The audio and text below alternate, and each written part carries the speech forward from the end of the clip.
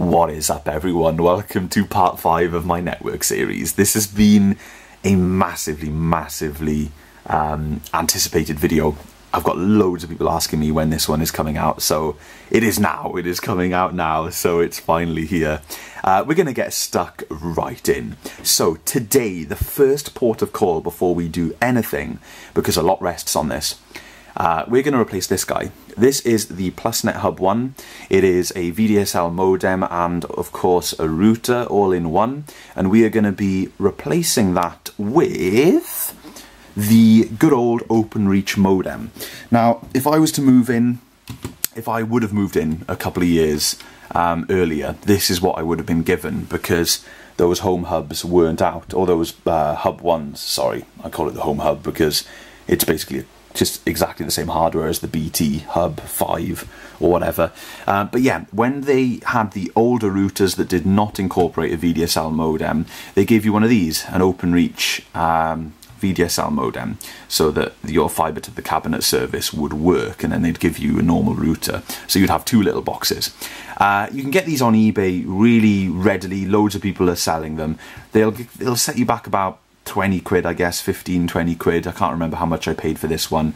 Um, but this will allow me to open up my connection to use any router that I want. Now, in theory, I could use the PlusNet Hub 1 as a VDSL modem. You can put it in bridge mode and just use it as a modem, but I've got no interest in using that hardware. Um, I would much rather just use the straightforward modem that has no bells and whistles. Um, I'd feel much more comfortable doing that. So what we're going to do today is we're going to swap this guy in, replace the hub one, and we are going to use the Apple Airport time capsule as my router.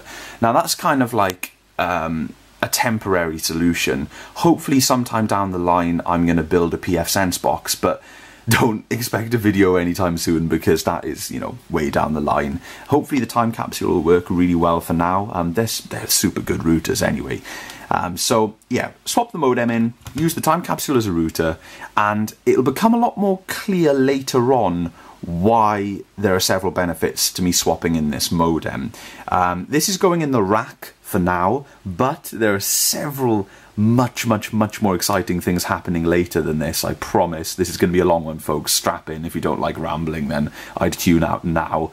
Um, this is going in the rack for now, taking the exact same spot as that router, but it won't be for much longer. Let me just put it like that. And things are going to get really exciting. I can't wait. I'm so excited. So let's hook all of this up. So at this stage, it's pretty straightforward. Um, we are going to quite simply just kill the internet. Um, oh, hang on a second. First things first, let's test the speed of my connection using this guy. So I'm just going to use speedtest.net for this and see the results because I'm not expecting the, spe the speed to increase, but I'm expecting, uh, I'm, hoping that the speed will stay relatively the same. Um, so let's take a look at the results. We'll screenshot the results. I don't want to lose any speed, put it like that. Um, that would kind of suck. So we got 6874 on the download and we're looking to be about 16 or so on the upload. My upload has actually slowed down by 2 or 3 meg in the last few months. Not too sure why that is. Okay, so we're looking at 6874 and 1617. So I'll screenshot that before we go any further. And um, yeah, let's unplug the router now. So we're just going to kill it. Um, there's no real preparation I need to do. I'm not uploading anything, not downloading anything. We are just quite simply going to kill it. And we're going to pull the three connections out the back. This has been a nice bit of kit for a couple of years. I haven't had any major issues whatsoever other than a couple of restarts, but that's common with any router I suppose. Okay, let's ditch this power cable to avoid confusion. And we shall plug in the new power cable. Okay, that's that finally in. Um, and one additional cable that we now need is obviously a WAN link between um, I'm not going to worry about tidying these cables up this is not staying here um, obviously we need a WAN link between the modem and the uh, and the time capsule because that's going to be the router. There's obviously a LAN link from the time capsule which we'll still need and which is still going to be hooked up but we'll run this fresh blue Cat6 up to the time capsule. Okay, that is in and now all we got to do is hook up this modem and I've read the documentation. The WAN connector has got to be uh, LAN 1 on the modem and I'm also going to connect LAN 2 to my switch and that is simply for uh, monitoring. That's how you access the GUI in order to see what's going on. Obviously we want to connect to the phone line and we want to connect power and this should now boot up. So if we sit this on the shelf like that, I'll be able to see the activity lights just while we set up and get things raring to go. There we go, powered up. So you can just about make out the activity lights up here. I am looking for uh, a constant, uh, the DSL light uh, there we go. The DSL light has started blinking. I'm looking for it to be solid and constant. That is my main concern. Um, just knowing that the modem can connect to the internet and then we are good to go. So while this is doing its thing, it'll probably take a while to boot up. This thing takes at least six, seven minutes to synchronize with my connection, so I'm assuming this guy will be similar.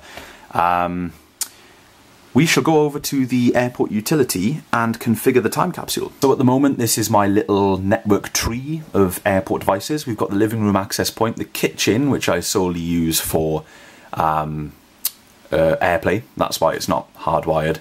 And we've got IMNCHQ, which is the time capsule. So let's dive in here and take a look at the settings. So there's a lot of this that I can't show, and I'm going to do some really crude kind of blocking out of the stuff. But I basically set the internet tab to PPPoE and put in my account name, password, and that is all I have done. In theory, the time capsule should sort everything else out. There is one more thing in um, the internet options, and that is configure IPv6 needs to apparently be link local only. Uh, from what I've read. So I've set that to link local only. We'll press save. And now the time capsule is going to restart and we should see a green spot if it is able to connect and uh, find my connection. So over here we've got another good sign. We've got a solid DSL light, which is fantastic. Uh, so that means that the modem was able to successfully connect to the internet or at least find synchronization down the line, uh, which is super, super good news. So now just waiting on the, ah, you can see there, time capsule just restarted because it lost communication through LAN 1. So let's go and have a look at the progress. Still rebooting. Where's my cuppa? There it is. Knew I put it somewhere away from the electrical gubbins. Okay, IMNCHQ is indeed green. So, in theory, we should have the internet now, but of course, we probably need a refresh on the old, um, we're using a different router, so I need to get a new IP address without showing you guys any kind of stuff on screen, I'll just unplug that and plug it back in. Should find a new IP eventually.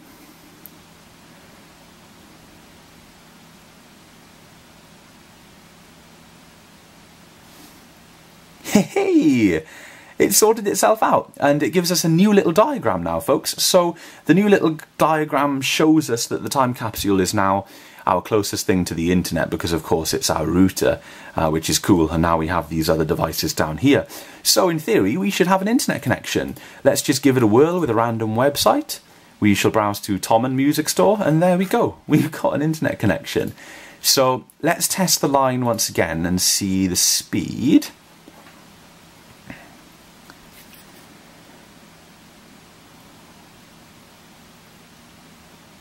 Okay, so... Ah, okay, it's getting up there, it's getting up there. Yeah. Pretty much identical.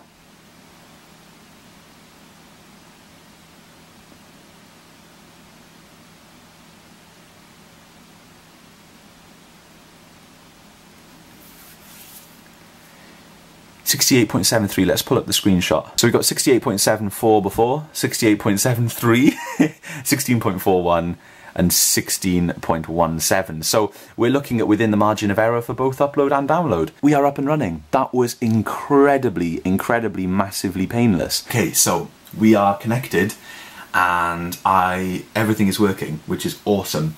Um, can't believe how painless that was. Absolutely wicked. The seller I got it from provided instructions. He was like, plug this into this, plug, plug that into that. That's how I know about the LAN 1 and 2 thing. And uh, I was expecting more setup instructions but there wasn't anything complicated. You have to do nothing absolutely nothing to the modem which is sweet. Um, so yeah sorted. Username and password into the time capsule and I've got a new router up and running. Very happy. So this has kicked off the video um, with a brilliant start and what I'm going to do now is explain to you guys what is going to happen for the next part um, but first I'm going to do something pretty cool and that is set up my guest network because now that I'm using a time capsule as my router I can group all of my airport stuff together and set up a guest Wi-Fi network which is perfect, absolutely perfect. They won't be able to access any of my shindig on the server side of things, sorted. So setting up the guest network is incredibly simple. It's just a case of going over to the wireless tab in Airport Utility, uh, checking guest network, giving it a name. I've just gone from Starship and guest because, you know, it's easy. Um, obviously a simpler password maybe than your password, you know, something you can tell guests really easily without too much confusion. Uh, but also something that will still keep the neighbours from using your connection. And uh, yeah, that's pretty much it. As far as I know, you have to do this to each airport base station, but we shall see. So it turns out you do have to do it to all three, um, which is cool. I'm assuming that because I've done the same name and password, just like your normal Wi-Fi network, I'm assuming that it'll just show up as one network, even though all three of them are hosting the guest network. You should just be able to roam uh, so we will wait for the kitchen one to update. Oh, there it goes. And we will check on my telephone. Okay, so currently I'm connected to Starship, but we should also see... Hey, hey, Starship guest. So let's check and see if it loads. So Starship guest is, hey, working. So let's do a quick test on this guy.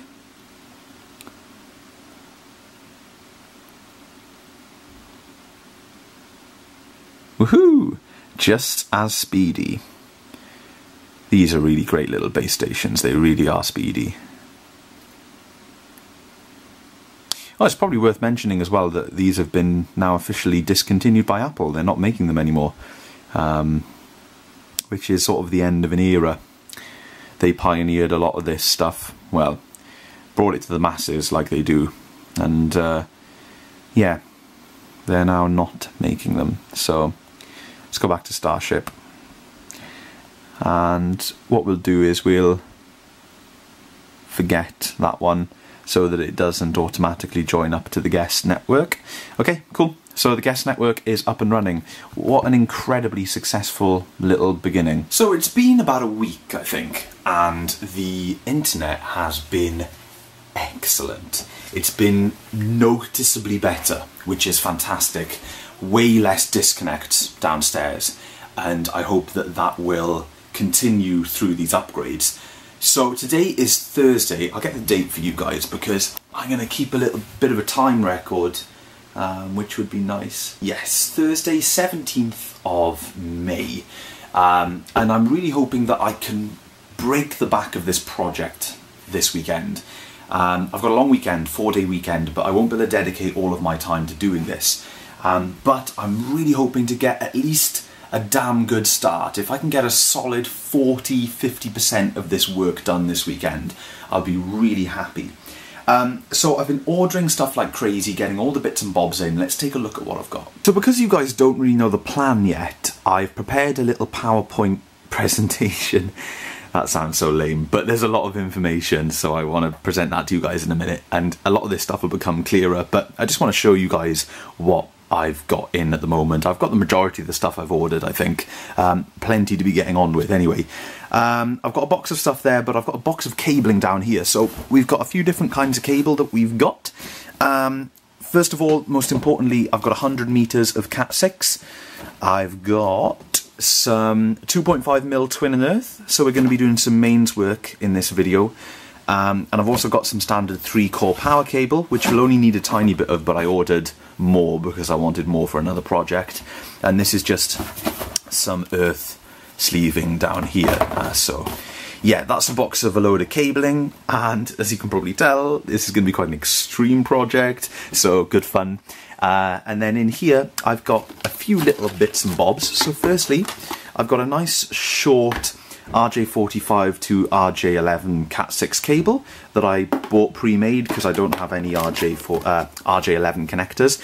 This will be to reposition the modem, which is sitting right there, um, to reposition that guy right next to the front door. So that's why it's so short. Uh, I've got in here a load of patch cables of different lengths. And this time round, I don't know why, but I was just feeling that purple was a good colour, so a couple of different length patch cables. Uh, we have got some faceplates, so I've got a four-way uh, Cat 5e faceplate. I've got some empty Tesco food bag. Um, I've got a single way. I've got a load of back boxes, so I've got a double, a load of singles, one, two, three, four singles, pop those there. They're of course surface mount back boxes. Uh, delving in, we have a twin Cat 5e faceplate.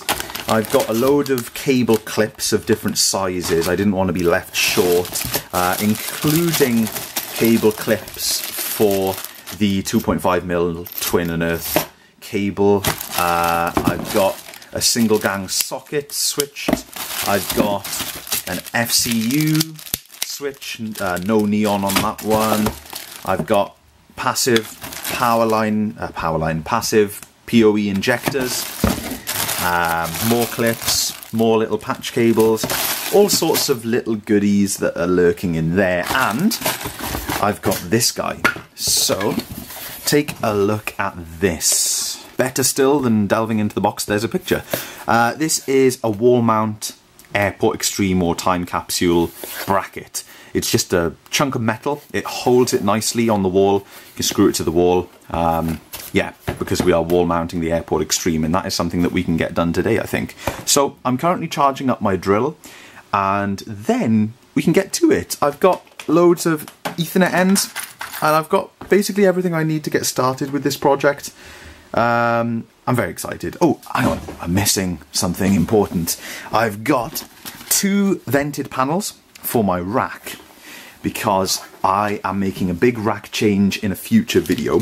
So I ordered those while I was ordering all this stuff. It's not going to be part of this uh, networking series. It's going to be an addition of a new server to the rack and I'm going to have a panel above it and a panel below it for maximum airflow in the very airflow restricted rack, so that's kind of nothing to do with the networking upgrade. But something that is to do with the networking upgrade is another UPS. This is the APC ES700. So this will get me 405 watts, which is way, way, way more than I need. But this was the smallest UPS I could buy.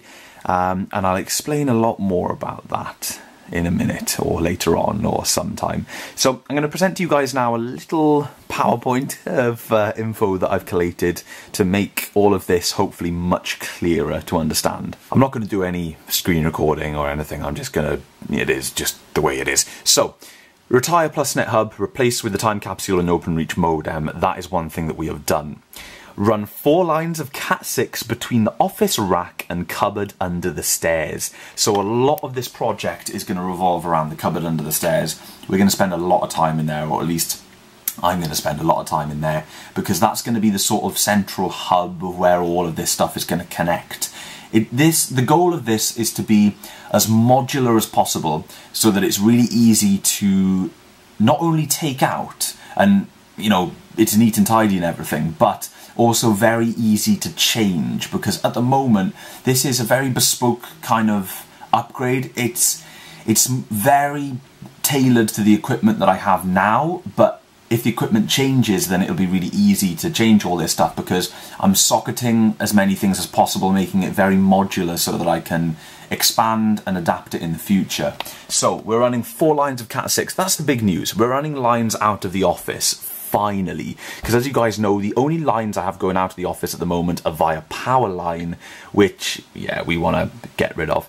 Uh, create a network and power patch board in the cupboard under the stairs. So that is what the majority of those supplies are for. We are going to create a bit of wood on the wall with all of this stuff mounted onto it in a very nicely laid out way, all patched in nicely so that it is really easy to connect everything. I'll show you guys the layout in a minute. I've prepared that on a slide that's coming up. Wall mount the Airport Extreme downstairs. Currently the Airport Extreme is just sitting behind the TV. Uh, so yeah, we want to ditch that. Run a dedicated line from the cupboard to the TV. So that's the cupboard under the stairs patch board to the TV. So we get hardline networking behind the TV. I'll probably put a five port ethernet switch behind the TV as well, just to power all of those devices. Or sorry, rather give network to all of those devices. Um, you know, it's not ideal daisy chaining switches, but the way it is at the moment, getting four lines out of this room down there is absolutely fantastic. Uh, I don't mind having a little switch on the TV, so that, that suits me okay. And then, uh, what else do we have? Move the Hue bridge downstairs and mount it because currently it's in my office, therefore the signal for the Hue lights in the front room is not too good. Uh, we're going to mount the Hue bridge down there. So, let's take a look. Um, we've pretty much gone all gone over all of this. I made this before I recorded the first part of the video. So, moving the modem downstairs um, right next to the master socket, eliminating 25 meters of phone line should hopefully increase internet speed fairly significantly. So at the moment, the modem is currently fed by a big 25 meter Cat6 run all the way up the stairs, under the carpet, and into this room uh, with a ton of slack on it as well. It doesn't need to be 25 meters long, but it is. Uh, so we're eliminating that run. We're turning 25 meters into whatever this is, a meter. So that is perfect. And because this is essentially the phone line. Um, we should see quite a speed boost. You know, it could even be as significant as two or three meg on the connection. So that would be sweet. But if not, this isn't really this isn't for speed, this is all for convenience and reliability. Using the OpenReach modem unlocks the ability to use any router, we know that. Hopefully pfSense build in the future, we know that, but Time Capsule is perfect for now. Using the Time Capsule allows easy creation of a guest Wi-Fi network, which we've done, so awesome. Cool. Next up, we have got the benefits of this entire upgrade. So, retires powerline adapters. That was the main goal. We want to go hardwired Ethernet as opposed to powerline. Hardwiring is much more reliable, ties into the first one. Better Hue bridge signal, obviously. Better Wi-Fi reception. Essentially, with the Wi-Fi uh, router where it is, the access point, the airport extreme behind the TV. It's very close to a lot of devices. Stuff doesn't work too great. It's crammed in behind the TV with a load of cabling. So hopefully by getting it on the wall, out in the open with nothing around it, no interference from other electrical junk, hopefully it'll do a much better job. Uh, TV setup can be turned off at night saving power. This is a big one because at the moment the power line adapter downstairs, I know we're moving through this quickly and I'm talking quickly, it's going to be a long video.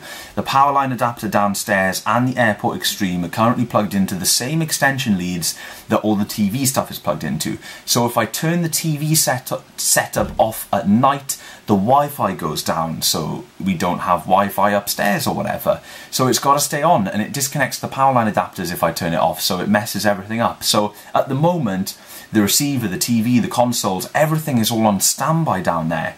So once this is done, all of the networking junk will be away from the TV setup. Nothing will be powered from the TV setup. It'll all be powered from this guy, meaning that I can turn the TV setup off overnight, saving power. It's a lot safer because that's a lot of equipment to have, you know, constant mains running through it every single night. So can turn it off, very, very happy. And we're going to do some work to the mains behind the TV as well um, maybe in this video, but haven't quite decided that yet. The whole network, including the internet connection, will be active during a power cut. Not a big deal, but yeah, I got this more for the protection, um, but it is still very nice. If we do, now when I say power cut, I'm more referring to when I forget to top up the meter and we lose electricity. If I'm uploading or downloading, um, then it won't get shut off because the modem and everything downstairs will be powered by this guy. And obviously the entire rack which is where the router is powered from the time capsule is powered off of the UPS in the rack. So we're going to have two UPSs working together to power the entire network. The main benefit, this is, I know I said the power line adapters was the main benefit, and it kind of is, but this, this was the thing that inspired me to really sort the network out. And that is, the current TV disconnect issue should be eliminated after these upgrades. The power line adapters coupled with the less than perfect PlusNet Hub 1 is hopefully the cause.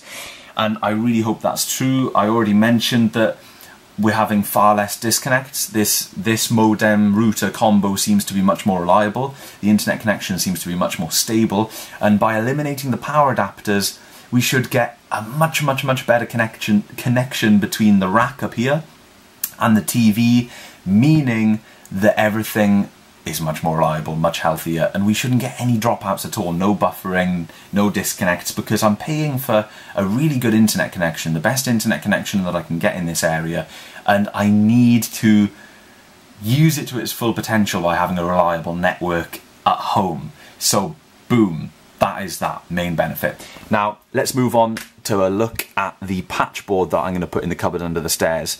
So, really simply, um, let's just talk power really quickly first.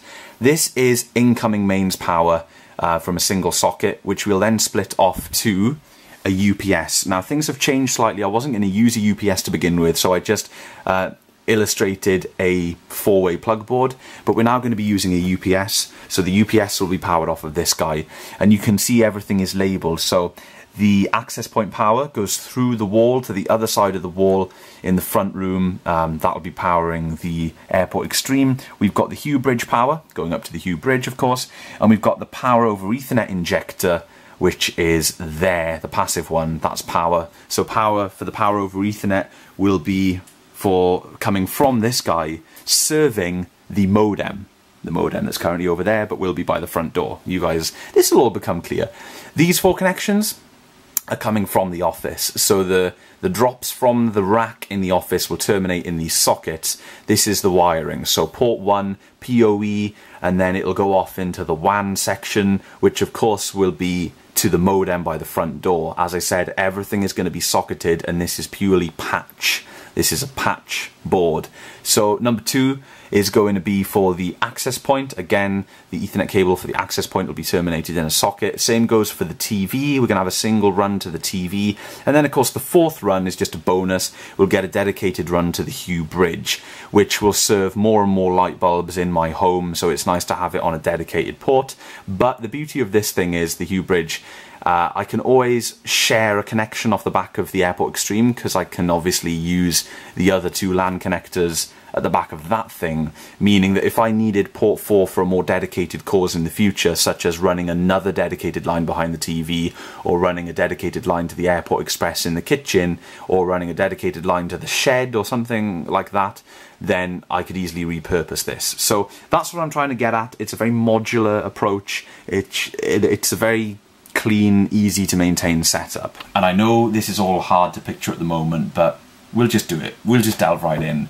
Overload of information, but super, super cool upgrade. So I just remembered that a little while ago, before ordering any of this stuff and before beginning the project, I needed to make sure that the main aspect of the project was going to work, and that is, of course, running the four lines from this room to the cupboard under the stairs. I've spoken in previous parts and in my other videos about how difficult it's going to be because this is an extension and an exterior wall divides this room and the rest of the house but I found a way to do it and this is the clip in which I test that theory. So a little bit of time travel to two weeks ago or whatever when I ripped up the floor to check that this was going to work. So folks, just a little clip that hopefully I'll remember to insert into networking video part 5.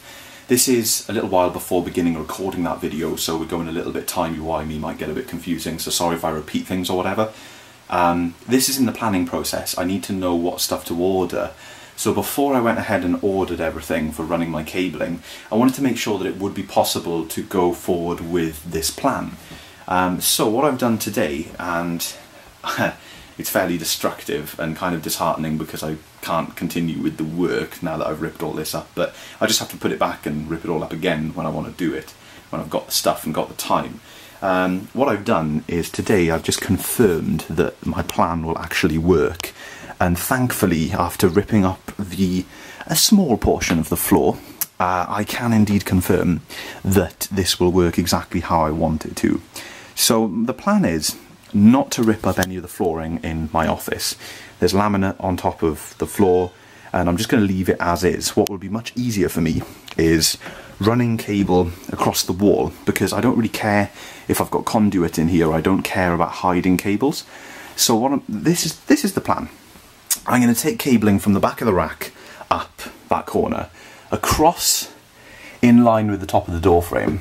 I'm going to drill through and then at the other side of the door frame I'm going to whoops try not to lose any of those um, I'm going to come out and my conduit is going to run down here in line with the door frame. So you'll barely see it. It'll just be thin little conduit here blending in with the wall and the door frame coming down down down down down down down down down. I'll trim this bit of skirting board to accommodate it. It'll come down down down. And I shall drill through the floor here and let my four network cables drop through there. Then I'll be able to fish them out under here. They'll come under and this is actually perfect because all of the electrical wiring is going straight through there so there's no danger of drilling into any of those. I can feel that there is no cabling under there whatsoever. Um, we've got a little sort of safety zone here which is good.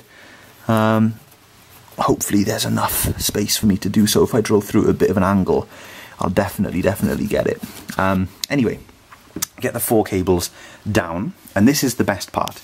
I was fairly confident about that part, um, but I wanted to get them into the cupboard under the stairs. Now you can see the staircase is right there, so this is very, very close, close proximity, um, so I won't need that much cabling. And what I've done is I've gone downstairs into the cupboard, turned on the light, and to my absolute delight, if I just move the camera down into there, you guys can see that I can see light. There is light poking through, so I can fish the cables, four of them, under the pipework and out of the hole in the cupboard under the stairs. Now there is some mains uh, knocking around here. Obviously this is the mains for this side of the house. Um, so I don't really want to uh, get mega interference, but we won't really be running parallel to the mains. We'll just be running across it temporarily, so that should be okay. Uh, this is the existing line that is under the carpet. That's my feed that I've had for about two years now, since part one. And you know, it's done the trick, but it's time to get something a little bit more permanent in. And uh, also um, eliminate, I've probably spoken about all the good points anyway in this video, so I'm not going to say that again. But I'll quickly show you guys again. We're going to go under here, under the pipework. And as you can see, there is light under there, light at the end of the tunnel, as they say. So that is perfect, completely perfect. So I'm now done here with everything I need. Um, it's just a case of ordering the conduit, ordering uh, some cabling, and getting stuck in. So hopefully I can get this project underway next weekend, and then get it out the way. Um, I know a lot of you have been begging for this video. So anyway, I'm not going to talk too much in this clip because it's just a clip. I need to remember that. By the way, folks, I've just realised something. In that clip you just saw, it's the same day, by the way. In that clip you just saw, it looks like I've been extremely destructive and just ripped the skirting board off and pulled a load of plaster off the wall. I didn't even think to mention that during this clip. It was like that anyway. Um, I ripped hardly any more off. The skirting board, since we moved in, pretty much all of them in the house, um, apart from the kitchen, the kitchen's okay, um, pretty much all of them have fallen off um, and, you know, and or are loose. And this one up by my office here is particularly bad. Um, so it'll be nice when I do all this work I'll be able to put the skirting on this corner back on properly. Um, but as you can see the whatever they used to stuck the skirting on has just pulled off the plaster and you can see it's all crumbled away under the floor there. Um, that was exactly how it was before I got involved. So uh, yeah I just thought I'd mention that because it, it looks super destructive on here. But I promise I was really careful with everything. Um, you know this isn't massively my area of expertise you know going into floors and fiddling around in houses. Um, but uh, it's really fun learning and getting stuck in. So, yeah, I can't wait to to actually properly get stuck in. And uh, just to show you guys, I am now back. you can see there, it's fallen, but you get the idea. So it's all back to normal now, and I can get stuck in um, when that my stuff arrives. So the part we're going to do today is mount the AirPort Extreme on the wall. I think that'll be a really good start, uh, as well as my beginning of this video and everything that we've done. Um, mounting that on the wall is about as far as we can kind of go because I'm missing two essential things. I'm missing, firstly, the bit of wood that I need to create the patchboard in the cupboard under the stairs, and I'm also missing the trunking that I need for the office here and the down run. I could run the cabling before getting the trunking, but I want to make sure I get the right size and drill the holes in the right places so that I can conceal everything nicely.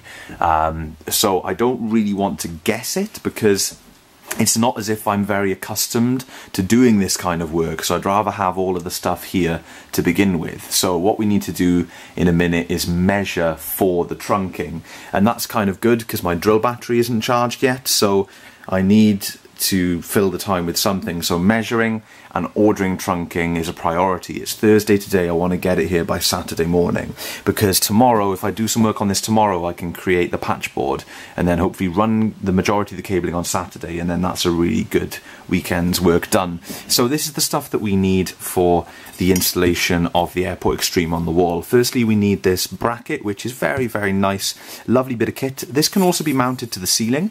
Uh, however, you do need to purchase an additional acrylic shell for this bracket to hold the airport in place to save it from slipping out. So for mine, it'll be mounted on the wall like this and it'll just sit in there very nicely. Uh, you guys can see there are various screw holes and also a nice cutout at the back for the cabling. I'm not sure if I'm going to be able to face the airport right at the back. Don't think there's going to be enough clearance there for the connectors to go in, but I could be wrong, so we'll find that out. Um, for network, it's pretty simple. I've cut a length of Cat6 off, which will be plenty long enough because it only needs to go through the wall from the cupboard to the uh, to the mount. So this is just Cat6. I've got an end to crimp on it, and then for power, I've just got a standard figure of eight power cable. Um, but the interesting thing about this is because I'm going to need to feed this through the wall, I'm going to need to essentially just chop this guy off. So if I chop the end with one hand. There we go. Now, of course, this is a molded connector, so it's completely useless to us now, but I was able to find something... Mm, brilliant.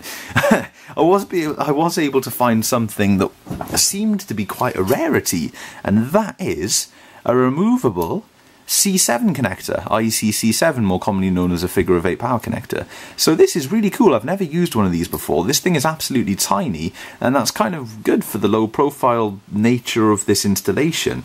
Uh, so that means that we'll be able to thread this through the wall along with the Cat6. This will be the thickness, so it's going to be quite a substantial little hole through the wall. Um, we're going to pull that through. Then, of course, we'll crimp the Ethernet connector on, crimp on, uh, crimp on, attach the power cable and bang, job done. Uh, I was I didn't need to fiddle about with anything else. I wasn't going to chop up an Apple cable. I thought I'd stick with using a random other cable that I had. So uh, I've got this one. But yeah, that's all we need. So just waiting for the drill. I'm going to order some trunking and then we'll get to it. So I've just ordered 8 meters of trunking. It's mini trunking, 38 mil high, 25 mil um, deep or away from the wall, I guess. I think I could have got away with a smaller size for the amount of cables, but if I want to add more feeds, then it's big enough. So that's cool. Um, I think I get quite a lot more in there, at a guess anyway. This is all guesswork. So I ordered 8 meters, got a fiver off because I was ordering so much. Um, and I also ordered some accessories for it. I ordered two right angles, so that at the two right angle ends, the first of which will of course be the feed coming up and then across, so it's a little clip-on right angle. It means your cuts don't have to be perfect, which is great. And then of course the other right angle will be here, uh, and I also ordered some couplers for the different sections as well. So now that I know the size, I can guesstimate the uh, the drilling. So I didn't pay for the express postage, uh, so it's four to six days postage. Probably won't come this weekend. That is not not what's going to happen. It'll probably come next week sometime. But now that I know the thickness, it's going to poke out that much from the wall, so it's going to be pretty stealth. Well, st as stealth as trunking can be. I can continue with my work. As I said, I can guesstimate it. so yeah, little, you won't even see that hole anyway, so little cut there, get four network cables through there, job done. So that's ordered. Still on charge. Why didn't I do this overnight? So while we're waiting for that battery to charge, I thought we could dig into the UPS. Um, this is quite a bit heavier than I thought it was going to be. Obviously it's a UPS, so I knew it was going to be heavy, but it is mm, considerably heavier, at least 30% heavier than I thought it was going to be uh, for such a small unit.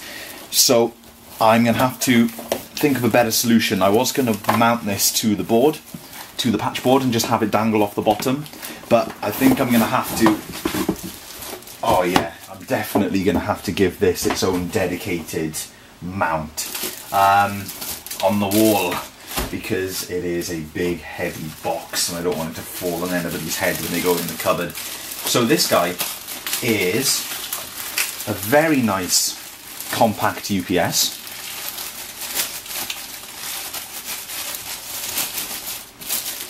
It is far more powerful than I need, but perfect for future expansion.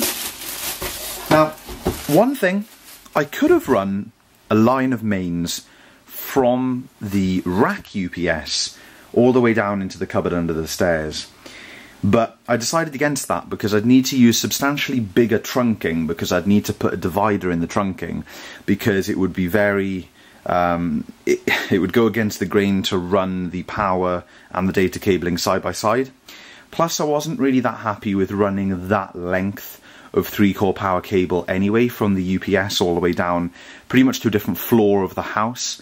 Um, I'm kind of guessing that that must be against some kind of regulation somewhere and I I didn't really feel qualified to do that, um, and I wasn't I wasn't happy about doing it anyway. I couldn't think of any way to to do it where I was comfortable. It would work just fine and it would be perfectly safe, but I still wasn't happy. So I, I went ahead and purchased a dedicated UPS for uh, the cupboard, which is a much better option, I think. Um, so it's of course just got a standard 13 amp plug and four of these outlets are protected by the UPS and four aren't. Yes, these ones are surge protection and these ones are battery backup and surge protection. So anything on this side does not get backed up by the battery. So this label says before you connect anything, connect the battery terminals. So that's not a problem, we can do that. Let's remove this sticker, which unfortunately is leaving a bit of a residue. Okay, there we go. Residue well and truly left. We've got some other stuff in here as well. We've got a driver CD, we've got a comms cable. Uh, this UPS is not going to be communicating with any systems. There's not going to be any kind of intelligence down in that cupboard um, yet. Who knows what the heck I'm going to put in there in the future. And an instruction manual, so I'll just bung those back in the box for now.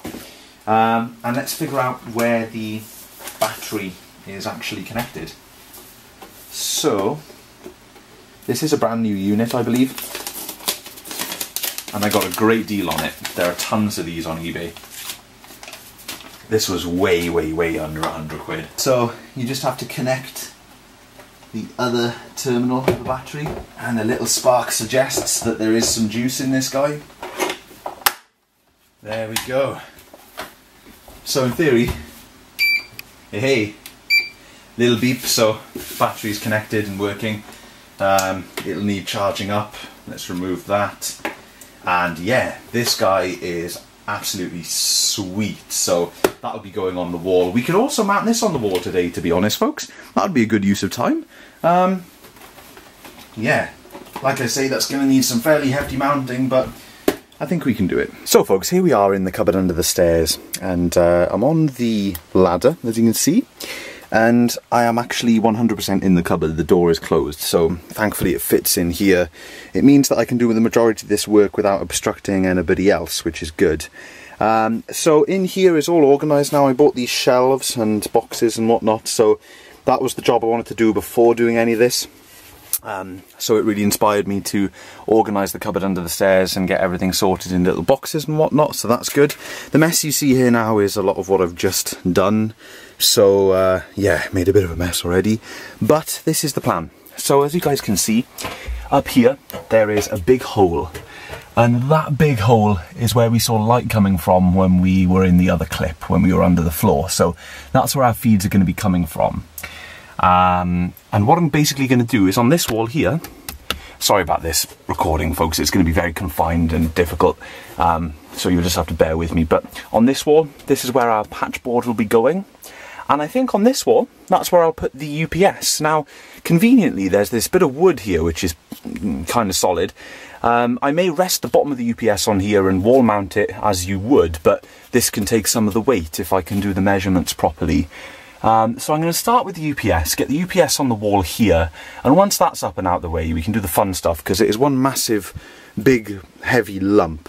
So I've drawn a little um, guide for the screw holes, that way up. Bizarrely, there's only three on the back of it and not four, so one, two, three, um, and yeah, we will go for that. I've got everything I need, I think, so yeah, let's just go for it. We have got the UPS on the wall. Um, I was going to mount it a bit more over here, but you can see that catastrophe there. Um, those holes above were already there.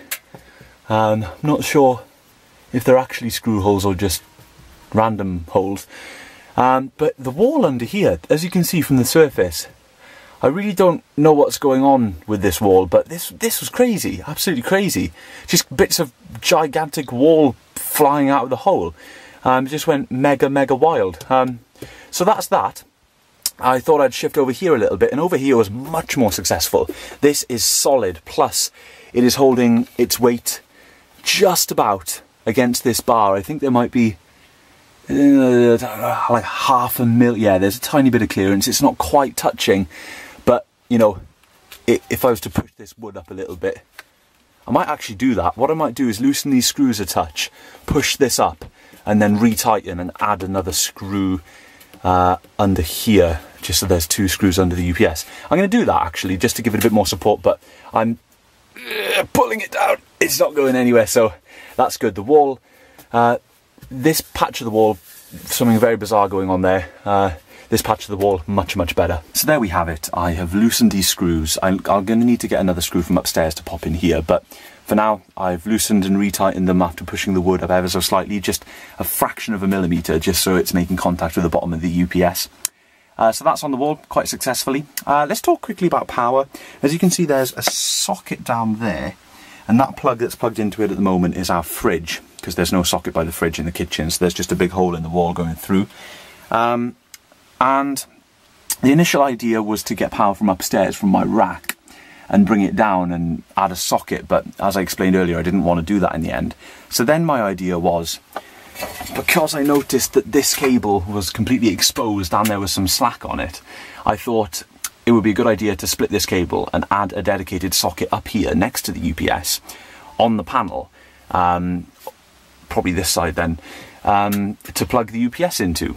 So then I got thinking that this is probably a spur from the ring main, the socket ring main upstairs uh, and downstairs. It's one ring in this house. The kitchen sockets are separate and my office sockets are separate there with the kitchen.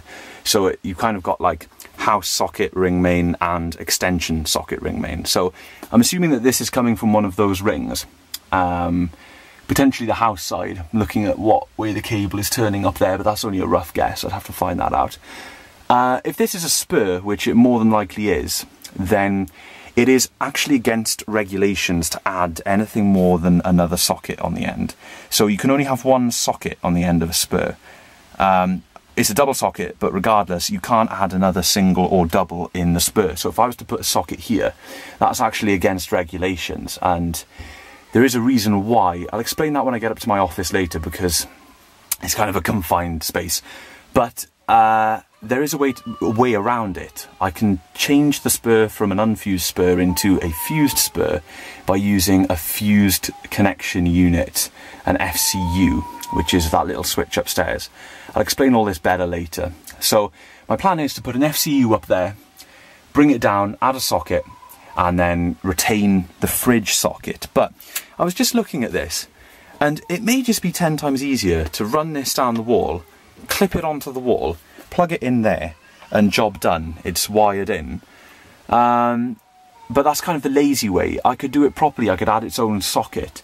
Um, but yeah, let's go upstairs and talk a little bit about electrical stuff for a moment. Uh, electrics, gubbins, because I'm, I'm struggling to explain things in here. I'm right next to this really bright light bulb as well. So I decided to uh, carry on a little bit, and as you guys can see, progress is pretty sweet. So I've got the power and Ethernet through for the wireless access point, and as you guys can see, that is going to work out really nicely for power, which is good. Um, and on the other side, of course, we have the bracket mounted and a nice hole in the back where these wires are coming through. And uh, yeah, I'm pretty pleased at that. That is awesome. I'm just hoping there's enough height to slot the airport in. So there is a quick example of the airport extreme in the holder. Obviously I'm gonna have to put it back where it was because um, I use the multiple ports to interface with everything on that setup, including the power line adapter and of course the Wi-Fi. Um, but as you guys can see, the airport is actually facing this way, so the connectors will come out this way. You could, in theory, do it the other way, but you'd have to you'd have to cut away one heck of a lot of the wall because the airport is actually flush to the back of the bracket. So these are just sitting here uh, for now, but they will really neatly come round the edge and terminate in the uh, in the ports, of course. Just the single LAN port and a power connector. So that's really absolutely nothing. I can wire those up at a later date, absolutely whenever. Um, whenever I've got a free moment or if I'm waiting for other stuff to arrive, that's a good little job to do. And uh, yeah, I shall remove that guy, put it back, but that's just a quick example of how it's looking. And then this side, as you all know, we have got that guy on the wall and a nice hole in the wall that side. So uh, yeah, really good progress I think. So talking electrics for a minute, uh, I'll try and explain what I was trying to explain downstairs a little better. I think the best way to do that is with a bit of paper. So you'll have to excuse my rubbish drawing and uh, I'm not an electrician but for those of you who aren't in the UK or for those of you who are in the UK but don't know much about how this sort of thing works, I'll try my best to explain. So we've got our consumer unit. So the consumer unit typically has, in most UK houses, um, a 32 amp, let's label it here, 32 amp MCB for your socket ring. Now this particular house has two rings, two ring circuits for sockets. Uh, one in the main house and one in the extension. So my office shares the sockets with the kitchen but for the purposes of this little diagram we will draw just one ring circuit. So the consumer unit out to the consumer unit down in an actual ring and back in. I'm drawing it nice and wiggly like actual cable. So on the ring you have all of your sockets. Let's draw some doublers. Let's draw a single on the corner doublers, doublers. And this typically makes up your ring of sockets in your home. So you start at the consumer unit, go around the ring, and you end up back at the consumer unit. Now this entire ring is rated at a max of 32 amps as dictated, of course, by the 32 amp MCB. Now if you want to add to this ring, you can add in the ring, or you can create a spur. And a spur is basically I should have left myself some more space. A spur is basically either from the back of a socket or from a junction box anywhere on the cable. A spur is a single piece of cable that goes to another socket that is not part of the loop. So as you can see, here is our ring. This is the spur. Now the ring uses 2.5 mil twin and earth cable, twin and earth electrical cable, very standard in the UK. Now the spur also uses 2.5 mil twin and earth cable. Now this is what I want to do. I'm assuming that the socket in the cupboard under the stairs is a spur, and I want to add another socket, like that. But, as I draw on my mat slightly, that is not allowed. And the reason that that is not allowed is because we now essentially have a double socket here. So, let's do this. And even if I wanted to add a single socket, it only takes a little bit of simple maths to work out why this is prohibited. So this cable here is the same cable that's used in the entire ring. That is 2.5mm twin and earth. 2.5mm twin and earth is rated at a maximum of 26 amps.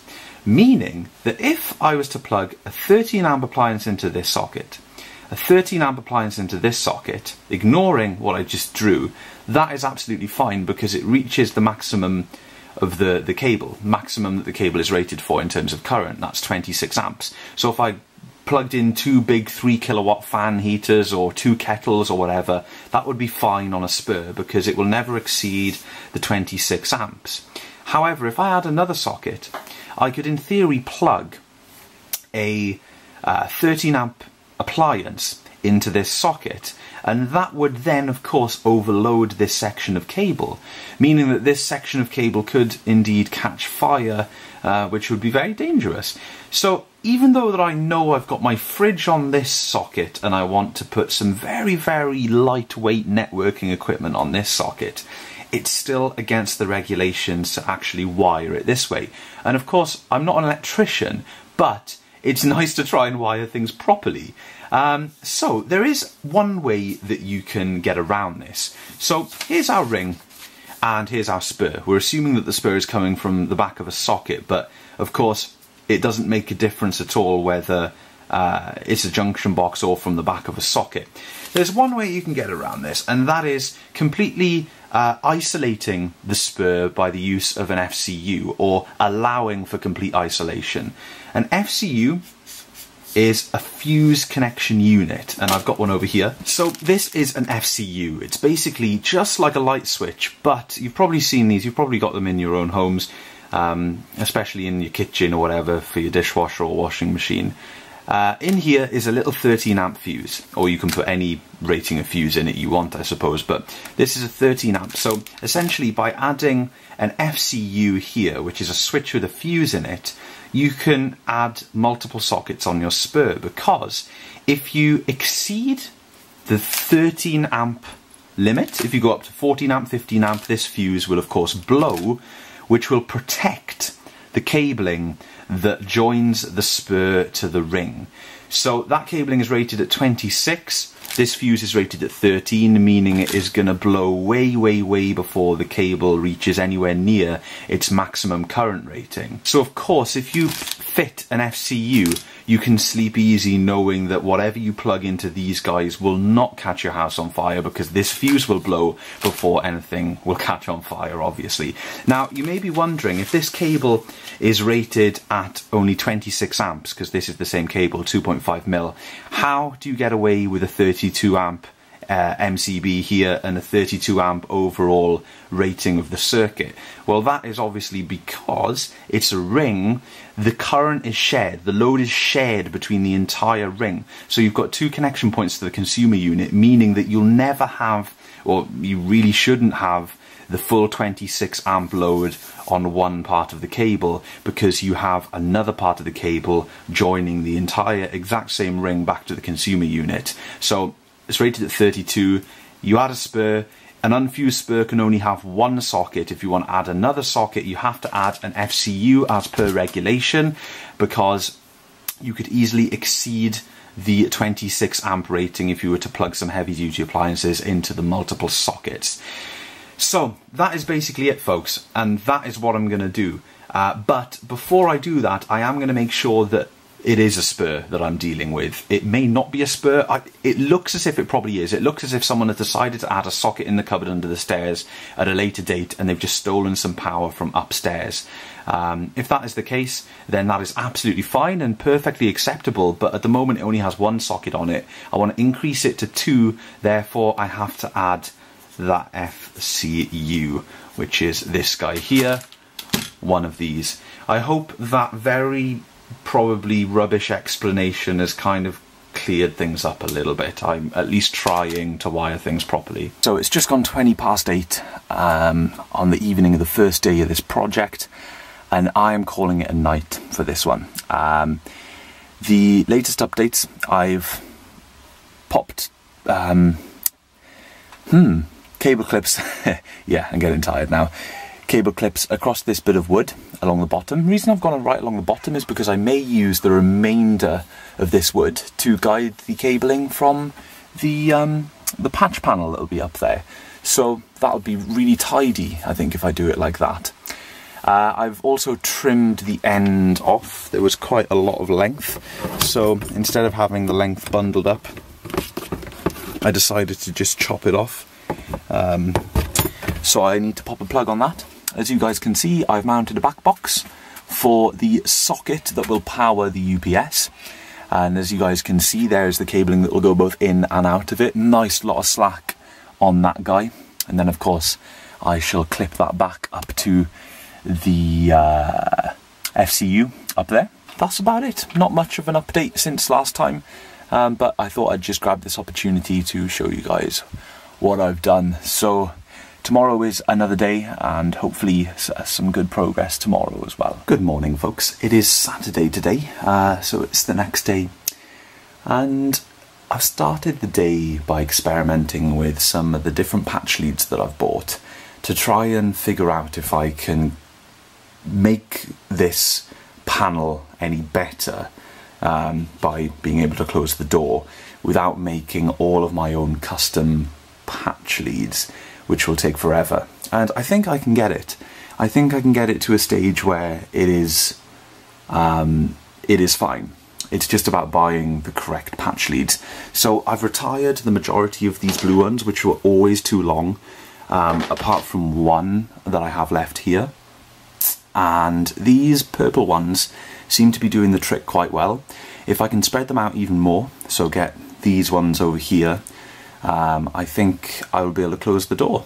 Uh, these white ones, I could replace them with the same as these blue ones. That would be absolutely fine. Um, I kind of don't really care about colour and cables matching at this point. It's just about getting everything patched in because of course I will be using quite a lot of the ports when I run all this new cabling. So it's been quite a full day today. Um, I'm not really sure if I'm going to get anything substantially done. Um, but I did think of a thing, uh, a thing. I did think of a solution for this networking cable rubbish. I am going to ditch every single one of these patch leads, every single one. I'm going to get a brush panel. Um, I do have one somewhere. I can't remember where on earth it is. It could well be at my parents' house because I've still got a lot of stuff there. I really need to sort through all of that. Um, but I'll put a brush panel there.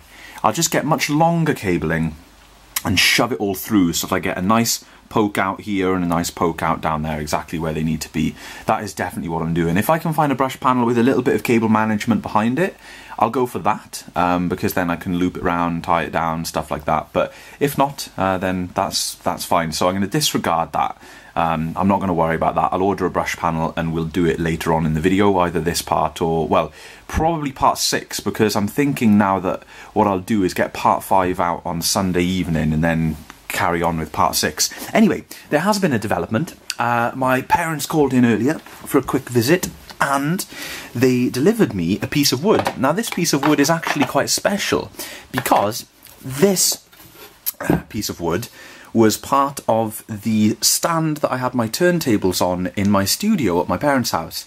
So unfortunately we had to dismantle that stand. I didn't really have any room for it um, anymore um, because of other things that I had. But it's nice that it lives on in, uh, in a new way. So we've got this bit of wood and what I'm going to do now is kind of try and line everything up and figure out where I'm going to put everything um, because I really don't know what the best layout is. Okay, so I know exactly where I want to start. Um, I want to start with the four incoming connections from the rack uh, in the back here. So that's where I've started. Nice, plain, simple, easy. Um, it's going to be a lot easier for me if I get all of the back boxes on the board before putting the board on the wall because when I was working in the cupboard yesterday, I was facing this way and I was able to do stuff on the wall that was in front of me. But uh, with this board, I'm going to be facing this way and I've got to work to the side. And that's going to be quite difficult because obviously being right-handed, you're kind of twisting yourself all the way around and twisting your arm the other way to try and do the work. So if I can get the majority of the work done with the board down, then I can just screw it to the wall and then I'll be quite happy. So there's the back box for the four-way uh, Ethernet uh, socket. So you guys can imagine how that's going to look. That is the first port of call. um, so now I've just got to decide where to put the other back boxes. So there it is. That is the layout. We have got um, the four in the top.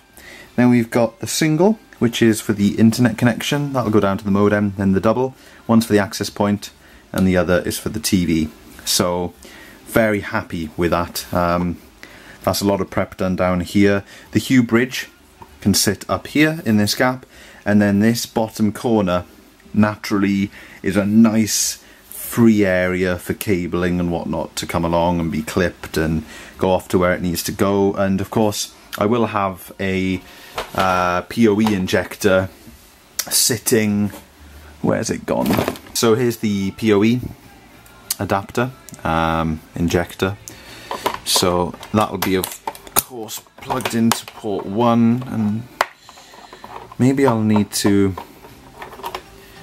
yeah, I might need to run a patch lead, extend that and then have this sitting somewhere else, I think, possibly we'll see how it goes but that's got to sit somewhere and then Hue bridge can go there. Um, I'll figure out the Hue bridge now actually. I'll get the screw in place for it. So we can now finally visualize what this whole project is going to be revolving around and that is this patch board.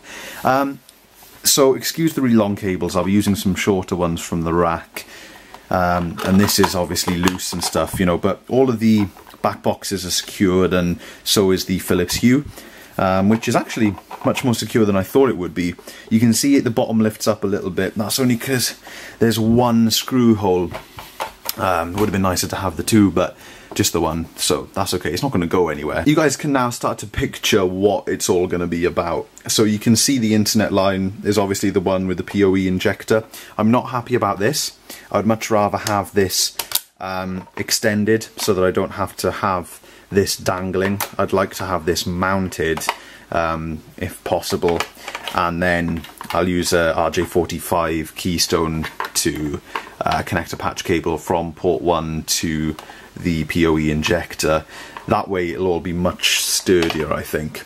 Um, the rest of it is super simple. You've just got patches between um, port 2 and 3 and this panel which is the AirPort and the TV setup. So that just that's a direct patch, and then a patch from here straight into the Hue bridge. I am very tired, folks. I just can't speak. I can't form sentences. I can't remember words. But hopefully, you guys are still with me. I know this is getting to be a bit of a long video now. Um, I was going to sling this on the wall tonight, but I think I will call it a day here. Leave it as it is. Put the Hue bridge back by the rack because that way I'll be able to control my lights. And uh, yeah, we'll come back to this tomorrow with a fresh pair of eyes and a fresh brain. I don't know why I'm so frazzled today, but definitely not a good time to be putting this up on the wall. Um, but still, even though we've only done this today, this is a good bit of progress in my opinion, and it's very rewarding finally seeing the plan come together. So yeah, all good, all good. I'll catch you guys tomorrow. Good morning, everyone. It is Saturday today. It was Friday yesterday. I can't believe how frazzled I was yesterday. Um, I've been editing as I go and I just edited yesterday's clips and my word was I frazzled, so apologies for that folks. I feel a little bit more with it today and today we are going to sling this board on the wall Um, I feel that tomorrow we're going to make more progress because, uh, as I mentioned, I'm just doing this as and when I can.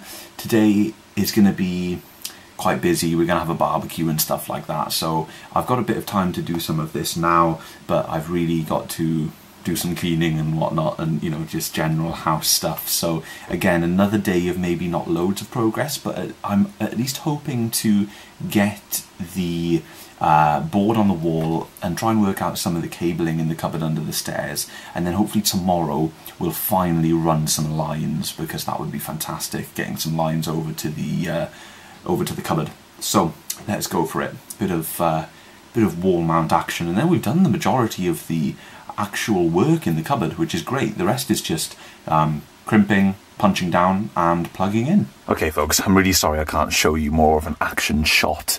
This is going to be pretty difficult. It's quite tight in here, and I am facing the complete wrong direction to screw this thing on the wall.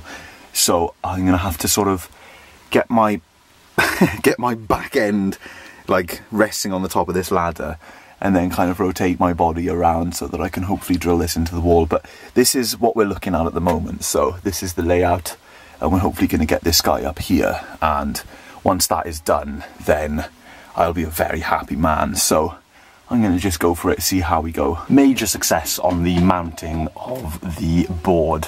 And as you guys can see, I've cut out the necessary holes in the back boxes for the cabling. Um, so you can see there's two holes in this guy.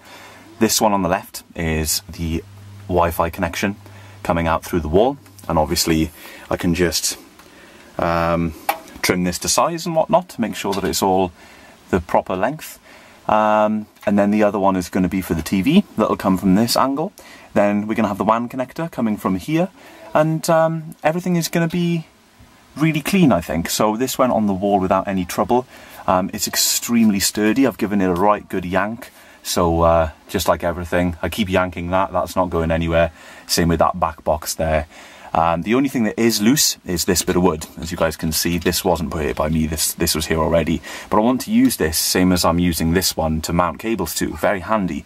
So uh, I will be getting a couple more screws and putting one here, one here, just to secure the uh, bit of wood in the wall. Nothing crazy, but just to hold a couple of cable clips. Um, but yeah, that is glorious glorious progress. That leaves me a nice lot of space to uh, hide some slack up here. So if I go further up the ladder, ooh, come on legs. Um, I'm going to bring a lot of length down from the four runs from that hole up there and I'm going to bring them all the way down, down, down, down, down, down. Then I'm going to do the faceplate down here on ground level. Then I'm going to wind it back up, wind it back up, put the faceplate in the box and then I'll coil the remaining cables. And what I'll probably do is put a hook in that bottom stair or put a hook on the wall or something um, just to keep the, the major slack. Because I want to keep that slack just in case I ever want to alter the setup in any way. Or if I want to move the rack in the office I'll be able to pull slack from that bundle.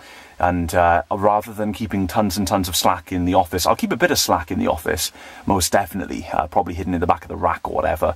But rather than keeping a shed load of slack in the office, I'd rather keep slack up here because it's not in anybody's way up there and it doesn't look horrible up there because nobody ever looks up there or whatever, you know. The door is all the way down here.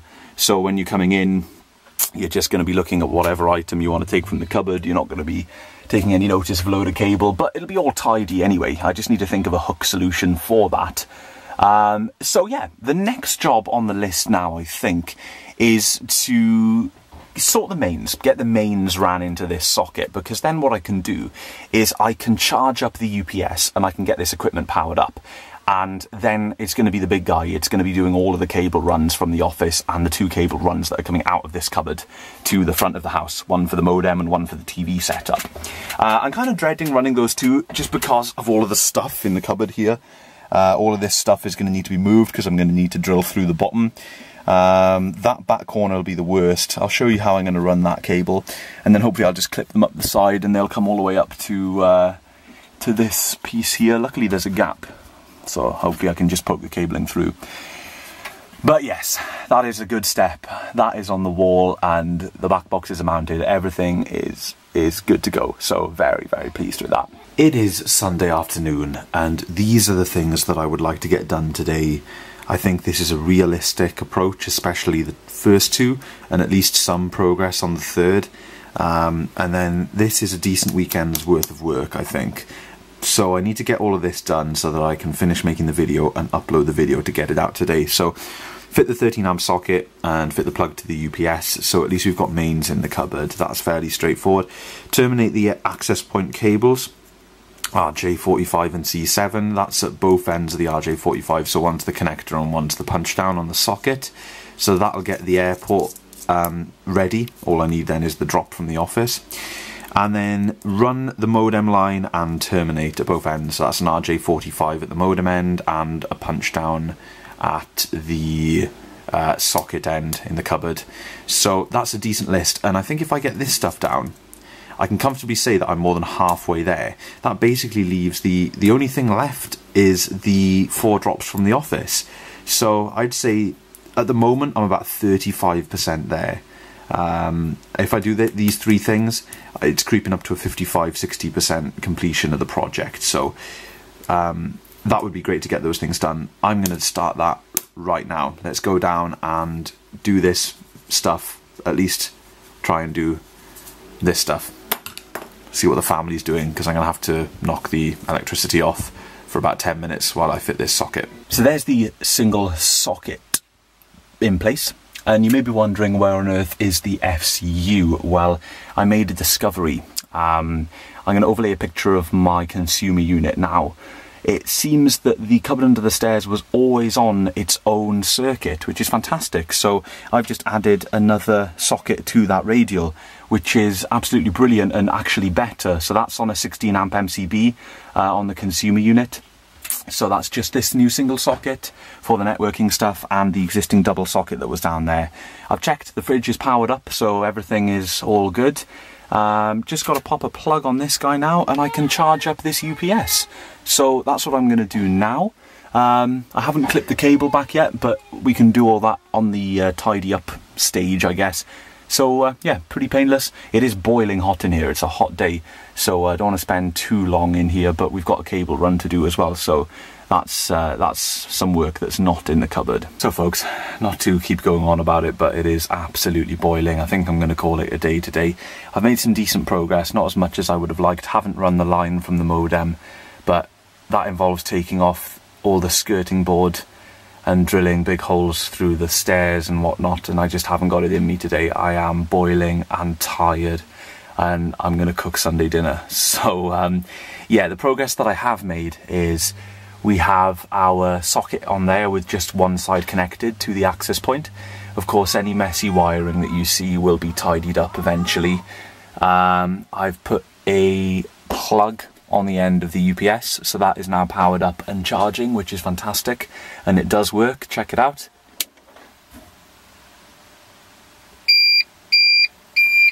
So it does exactly what it's meant to do. You heard it click back on, probably.